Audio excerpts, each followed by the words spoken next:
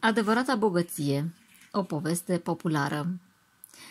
Într-o bună zi, tatăl unei familii înstărite hotărâ să-și ducă fiul într-o călătorie pentru a arăta cât de bogați sunt ei și felul în care trăiesc oamenii simpli.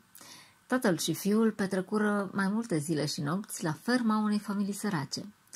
Întorși acasă, tatăl își întrebă fiul. Hei, fiule, cum ți s-a părut călătoria?"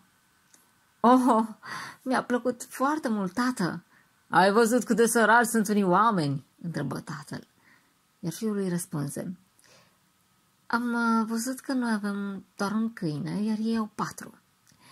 Noi avem o singură piscină, dar ei au un iaz uriaș.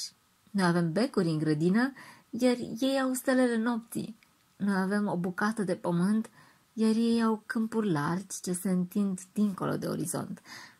Noi avem servitori, iar ei servesc pe alții. Noi ne cumpărăm mâncarea, iar ei o cultivă. Noi avem ziduri care ne apără proprietatea, ei au în schimb prieteni care o crotesc. La auzul vorbelor fiului său, tatăl rămase încremenit. Apoi fiul adăugă. Tată, îți mulțumesc că mi-ai arătat câte săraci suntem.